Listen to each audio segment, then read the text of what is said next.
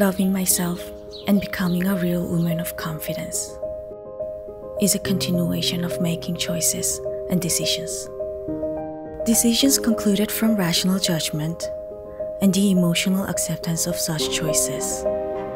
Settling upon impeccable decisions is the process of finding a balance between sense and sensibility. Let go of unsophisticated reliance.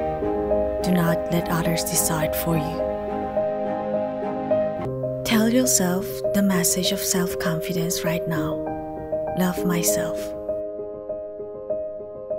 Sense and Sensibility Philosophy by Joy Gryson.